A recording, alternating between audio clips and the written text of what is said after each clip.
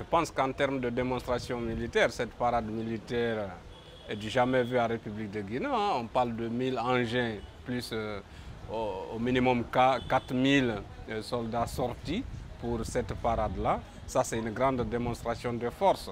Maintenant, la question qu'il faille se poser, euh, si cela va uniquement dans l'intérêt supérieur, c'est-à-dire dans le cadre de la défense du territoire national, voilà, ça va. J'ose espérer que ces, matériels ne seront jamais utilisés dans le cadre de la répression des manifestants. Là, c'est vraiment préoccupant. Hein. On a vu ces multitudes de, mouvements de soutien. Et d'ailleurs, une forme de campagne, pas lui, mais beaucoup qui sont en train de défendre la candidature, la candidature de, tout le monde.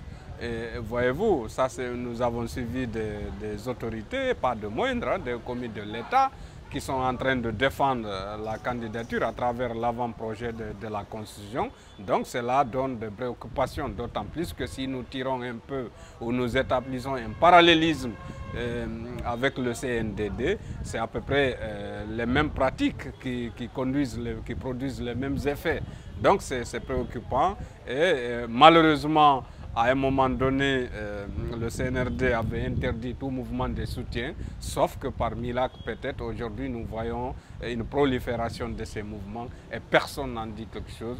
Et, le discours, on n'a pas fait allusion aux élections. Donc c'est vraiment préoccupant. C'est comme si nous étions dans, un, dans, euh, une république normale, euh, c'est-à-dire avec des élections, ainsi de Donc je pense que ça, il faut rapidement corriger cela en mettant un cadre de dialogue inclusif et consensuel en place afin que tous les acteurs sociopolitiques puissent discuter de la suite à donner à la transition pour un retour à l'ordre constitutionnel apaisé et consensuel. Très inquiet, très préoccupé, hein, parce que, encore une fois, euh, ce que nous sommes en train de, voir, les uns estiment que la transition finit le 31 décembre, les autres, et d'ailleurs, c'est même dit par la voix du ministre des Affaires étrangères que les élections se, feront en 2025. Donc je pense que tout cela, euh, s'il faut être réaliste, à mon avis, il sera difficile de faire toutes ces élections avant le 31 décembre, mais tout peut se régler en discutant. Malheureusement, malheureusement, c'est ce que nous ne voyons pas, ce cadre de dialogue-là, qui réunit ces acteurs sociopolitiques pour discuter de la suite à donner. Et c'est là que ça pose problème, et c'est là que ça préoccupe par rapport à la question de la paix de la stabilité.